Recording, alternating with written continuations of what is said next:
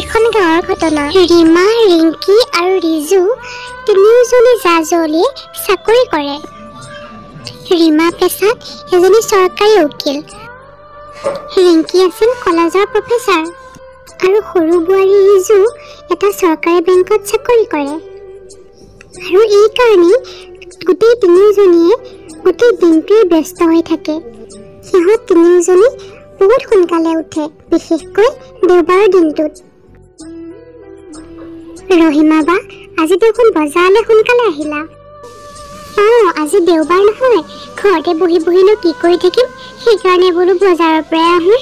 তিনিওজনীয়ে কৰিব যে কাম। অঁ সেইটো কাৰণে আজি মোকো বাদ দিব নহ'লে তিনিজনী বোৱাৰীয়ে কৰিব যে কাম কিন্তু তিনিজনীৰে মাজত মিলা প্ৰীতি আছেনে নাই? নাই নাই আমাৰ তিনিওজনীৰে মাজত বহুত মিলা প্ৰীতি আছে। আমাৰ বোৱাৰী কেইজনীৰ মাজত কোনেও মোকামিলা কৰিব নোৱাৰে। তোমাৰ ওকালতিবোৰ দেখি আছো বাইদেউ ময়ো কিন্তু কলেজৰ প্ৰফেচাৰ। বনাবলৈ ভাল ভাল আলুবোৰ তুমি ৰখাই মোলৈ পইচাকেইটা থোৱা। ময়ো জানো তুমিও কেনেকৈ ভাল ভাল বস্তুবোৰ লুকুৱাই ৰাখা আৰু মোলৈ কমকৈ ৰাখি দিয়া। তুমি পাহৰি নাযাবা বাইদেউ এইখন তোমাৰে ঘৰ নহয় এইখন মোৰো ঘৰ। হ'ব ইয়াত ছটা আলু আছে দুটা দুটাকৈ সকলোৰে তিনিজনীয়ে ভগাই ল'ম। এই দুটা আমাৰ। হয় নেকি? খুব ভাল খুব ভাল। তোমাৰ কাৰণে ভাল ভাল আলুকেইটা ৰাখি মোক পচা পচা আলুকেইটা দিছা। ময়ো কিন্তু বেংকত চাকৰি কৰোঁ। ময়ো হিচাপ জানো বাইদেউ। বাইদেৱে দিয়া পচা আলুবোৰ মই কিন্তু ল'ব নোৱাৰোঁ। মোকো একো বস্তু নিদিয়ে। মই কিয় এৰি দিম? সপ্তাহত আমি এবাৰেই আলু পৰঠা খাওঁ। এই সুযোগটো কিয় এৰি দিম? হে ভগৱান! মই ৰমলা আণ্টিক মই কৈ থৈ আহিছোঁ। আমাৰ তিনিজনৰে কিমান মিল আছে। আৰু তহঁতে এটা আলুৰ লগতে কাজিয়া লাগিছ? কৃষ্ণ কৃষ্ণ দুটা তিনিটা আলুৰ কাৰণে সিহঁতে মহাভাৰত আৰম্ভ কৰি দিছে অ' তহঁতে ইমান ডাঙৰ ডাঙৰ চাকৰি কৰা এইখিনিও তহঁতৰ জ্ঞান নাই। শাহুৰেকৰ কথা শুনি তিনিওজনীৰে চকু পানী ওলাল। আৰু তিনিওজনীয়ে শাহুৱেকক ক্ষমা বিচাৰিলে। মা আজি আমি এনেকে লাগিলো আৰু নালাগো আৰু। নহ'লে তোমালোকে কিয় কাজিয়া কৰা? তিনিওজনীয়ে ধুনীয়াকৈ মিলা প্ৰীতিয়ে থাকিব লাগে শুনা যি ঘৰতে শান্তি আছে সেই ঘৰতে ভগৱান বিৰাজমান। শাহুৱেকে এনেকৈ তিনিওজনীকে শিক্ষা দিয়ে থাকে সেই তেতিয়াৰে পৰা তিনিওজনী বোৱাৰীয়ে মিলা প্ৰীতিৰে থাকে।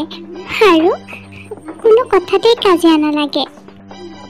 শাহুৱেকজনী ভাল কাৰণে সিহঁত আজিও একত্ৰিত। কিছুদিনৰ পাছতে শাহুৱেকৰ ভনীয়েক সিহঁতৰ ঘৰলৈ থাকিবলৈ গুচি আহিল। ইমান মাতিছো ক'ত গ'ল ইহঁতে? বাইদেউ অ' বাইদেউ ক'ত গ'লেনো? আজি ইমান দিনৰ মূৰত ইয়ালৈ আহিছোঁ মোক কি খাবলৈ দিবা? শুনক মই আপোনাৰ কাৰণে পোলাও লৈ আহিম। আপুনি মই আহিছোঁ। ময়ো আহিছোঁ মা। অহ আজি বহুত লেট হৈ গ'লোঁ জানানে? কৃষ্ণ কৃষ্ণ কি কথা শুনিছোঁ মই? গোটেইকেইজনী যে ওলাই যাবি ঘৰত কোন থাকিব? কাম বন কোনে কৰিব? সকলোৱেতো নিজৰ ঘৰৰ কাম নিজে কৰিবই লাগিব। আৰু ঘৰৰ কামখিনি কৰিলেতো ভালেই লাগে মোৰ তেজ চলাচল হ'ব। তই এনেই চিন্তা কৰি থাক বুজিছ? শাহুৱেকৰ ভনীয়েকজনী বহুত বেয়া আছিল। সেইখিনি কথাত উচতাব নোৱাৰিলে যে সেইটো কাৰণে এতিয়া বোৱাৰীকেইজনীক উচতাবলৈ গৈছে। ৰিংকি ৰিংকি কি কৰিছ? এনেই আছো আহক। এইটোতো আপোনাৰে ঘৰ। আহক সিহঁত আকৌ লাজ কৰিবলগীয়া কিটো আছে। গডৰেজত কি কাপোৰ সামৰি আছা? নাই নাই। ৱাশ্বিং মেচিনত কাপোৰবোৰ ধুইছিলোঁ যে তাকে ৰ'দত শুকুৱাই পেলাই গডৰেজত সোমোৱাই থৈছিলোঁ। মই আকৌ ভাবিছিলোঁ ঘৰৰ গোটেইবোৰ কাম তুমিয়ে কৰা নেকি? সিহঁতকেইজনী একোৱে নকৰে চাগে ন? নহয় নহয় আপুনি ভুল ভাবিছে। আমাৰ গোটেইকেইজনীয়ে সমানে কাম কৰোঁ। ইজনীয়ে যদি এখন কৰে সিজনীয়ে এখন কৰোঁ। তাৰপিছত মাহীয়েকে মাজুজনীৰ ওচৰত গৈ লগাবলৈ ধৰিলে। তাইক সকলোবোৰ ওলোটাই লগাই কি? বাইদেউ এনেকে কৈছে? ইমান সাহস পালে তাই? খৰচ আধা ভাগি মই বহন কৰোঁ কিন্তু তাই কৈছে তাই গোটেইখিনি দায়িত্ব লয় গোটেই খৰচ কৰে। তাইৰ জন্মদিন আৰু এনিভাৰ্চেৰীত কিমান দামী দামী গিফ্ট দিছোঁ কিমান দামী দামী গহনা দিছোঁ। তথাপি তাই মাহীয়েকে তিনিজনী বোৱাৰীৰ মাজতে বেয়া ভাৱ সোমোৱাই দিছিলে। বোৱাৰীকেইজনী সলনি হোৱা দেখি শাহুৱেকে ভাবিলে এই তিনিজনী আকৌ এইবাৰ কি হ'ল? সিমান দিনৰ মূৰত সিহঁতে ভাল হৈছিলেহে? বোৱাৰী আজি খাবলৈ কি বনাবা হে? শাহুৱেকৰ কথা শুনি বোৱাৰীকে ক'লে মই একো বনাবলৈ নাই। মই নিজে ইনকাম কৰোঁ নিজে আনি আনি খাম। মই কাকো খুৱাবলৈও নাই বনাবলৈও নাই। বুজিছেনে? ময়ো স্পেচিয়েল লুচিয়াৰ পৰঠা হোটেলৰ পৰা আনি লৈছোঁ। মই বনাবলৈ নাই দেই মই আজি চিনেমা চাবলৈ যাব লাগিব। বোৱাৰীহঁত তহঁতে ইমান দিনৰ মূৰত ভাল হৈছিলি। এতিয়া আকৌ কি হ'ল তহঁতৰ মাজত হা? ইমান উফাইদাং মৰাৰ কথা কৈ আছো যে তহঁতে।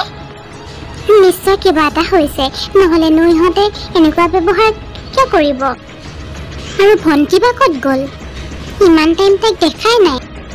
হেল্ল' আমি তিনিজনীৰ মাজত ইমানেই ওচৰা দিলোঁ যে তিনিজনীৰ মাজতে পুৰা কাজিয়া। অঁ তই মানে ইহঁতকেইজনীৰ মাজত বেয়া ভাৱ সোমোৱাই দিছ। আৰু অলপ কৰিব আছে ৰ'ব। সেইখিনি কৰিলেতো ভাঙা ভাঙিয়ে হৈ যাব। বায়েকে মোবাইলটো তাইৰ বিচনাৰ তলত ৰেকৰ্ডিং অন কৰি থৈ দিলে। আৰু ভনীয়েকক ইচ্ছা কৰি ক'বলৈ ল'লে। মই তিনিজনী বোৱাৰীক লৈ বহুত অশান্তি পাই গৈছোঁ আৰু।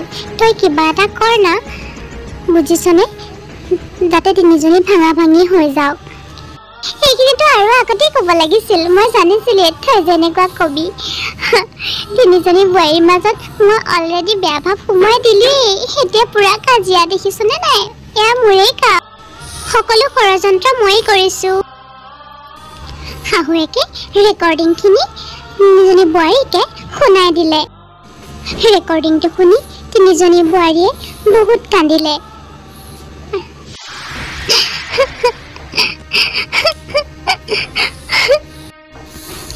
এইখিনি কথা মাহীয়েকে আঁতৰৰ পৰাই শুনি আছিল আৰু শুনি লাজ পাই তাই তলমূৰ কৰি নিজৰ ঘৰলৈ বুলি বাট ল'লে বোৱাৰীহঁত তহঁতে লোকৰ কথা শুনি এনেকৈ ইজনী সিজনীৰ মাজত এনেকৈ কাজিয়া লাগিবলৈ লৈছিলি চাবি যাতে আগলৈ এনেকৈ বেলেগে কোনেও লগাবলৈ নোৱাৰে।